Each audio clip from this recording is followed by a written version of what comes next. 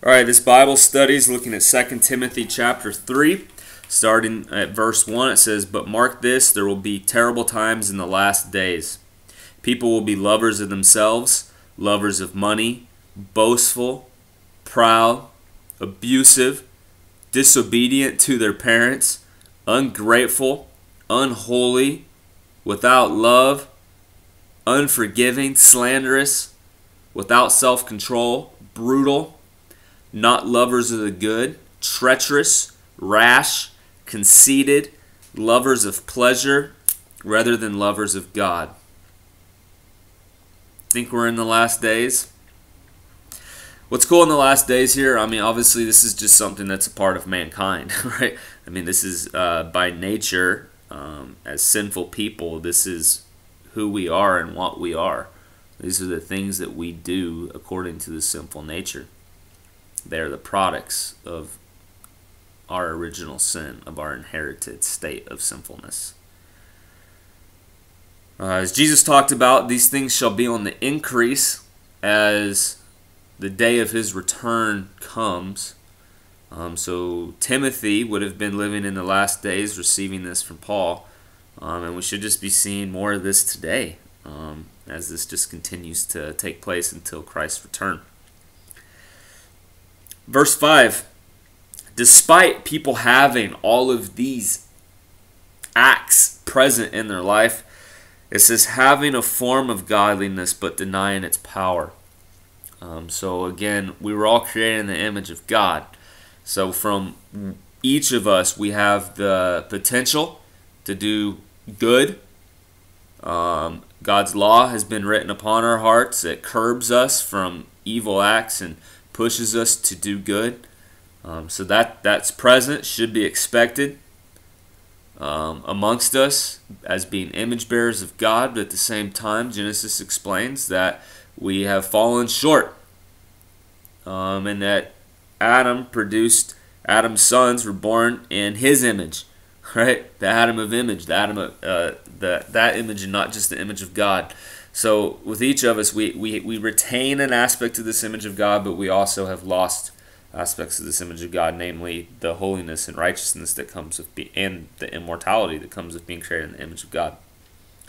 So um, we have all that there, and so we are in the form of godliness, but we deny its power. I think another way of looking at this would be um, all the people that say, you know, I'm a pretty good person uh, that say, you know, spiritual things are good. I pray, I meditate, um, I love my neighbor, um, I pursue peace, I'm a philanthropist.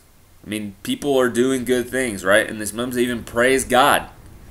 But the God they praise is not the triune Lord, the one that has revealed himself to us through the person of Jesus Christ. They believe in a higher power, a higher being. And they even sometimes will then say, God is in each of us, right? So they take on this form of godliness, um, and this would be the New Age movement, right? Um, this is this is the current current deal. We're all good. Everyone's sacred. Mother Earth, right? Uh, we're all a part of it, um, and because of that, we're all quote godly. Um, but we deny the power of God. And by this, we deny who Christ is. A lot of people will say Jesus was a great person, he was a great moral teacher. He's a wonderful man to emulate and to follow.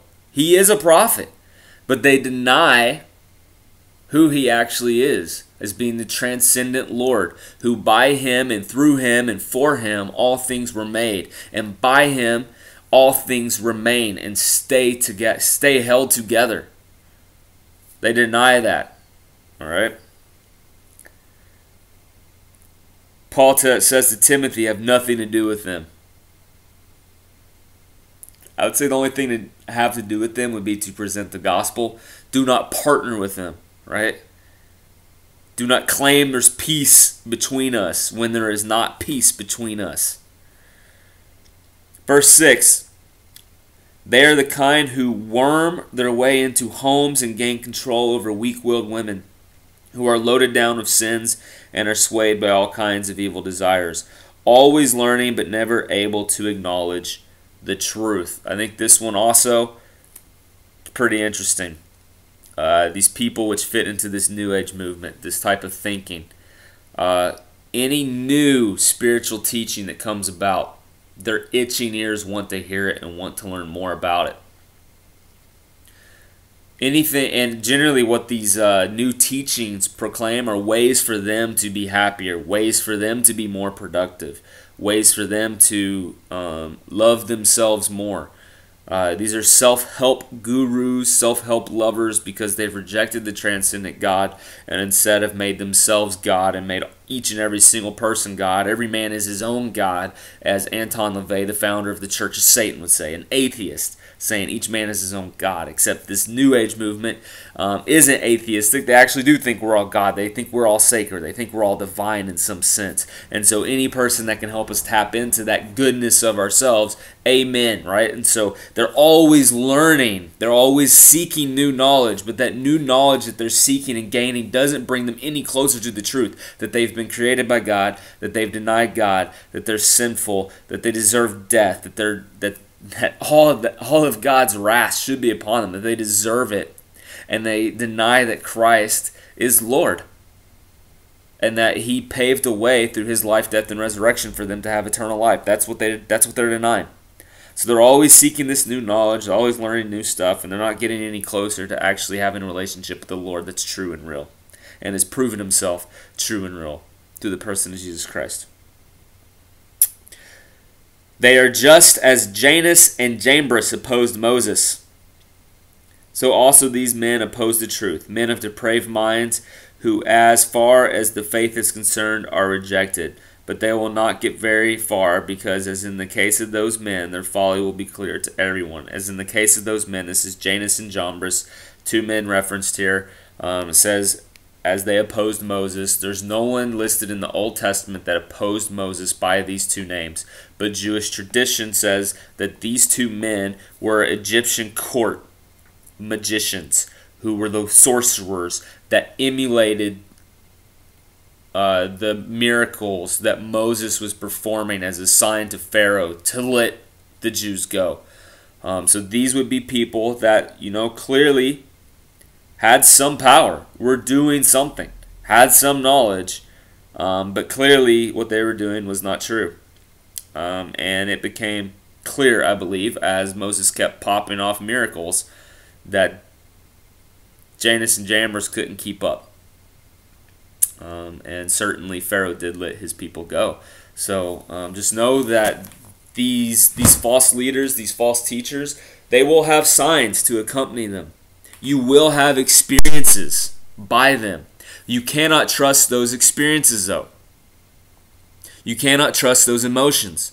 Emotions change, experiences change. All right. What we can trust and look at is an empty tomb from 2,000, almost 2,000 years ago, that is still empty. We can look at the person and life of Jesus Christ and His words, and see that what He offered is the best news ever salvation free of charge, um, that he fulfilled the laws that none of us can meet. Even when we look at all of the laws of all the other religions, no one is meeting them. If you listen to anyone who follows another religion, they don't have certainty of their salvation. Hindus don't know how they're going to be reincarnated.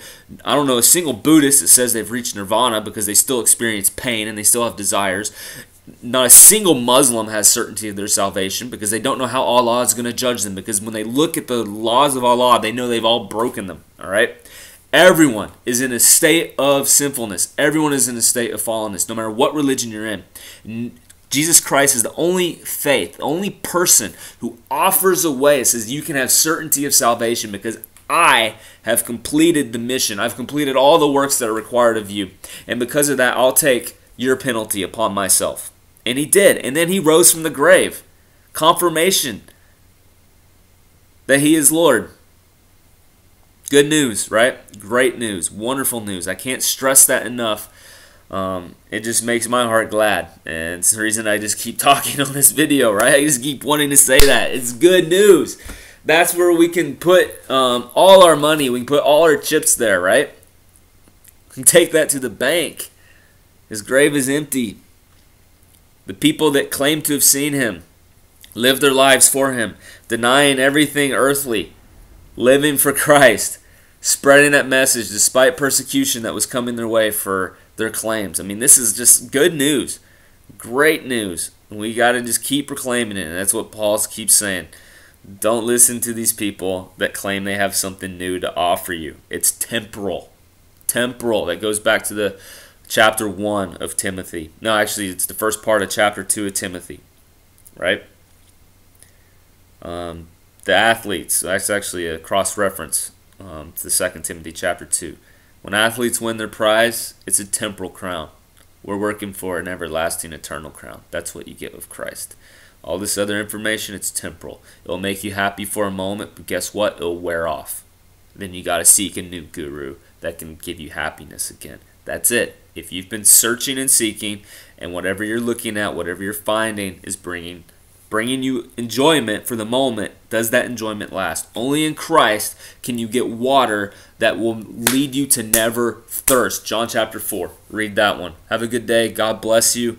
Um, man, I'm really digging Second Timothy right now. It's an awesome letter. Um, God's word's awesome.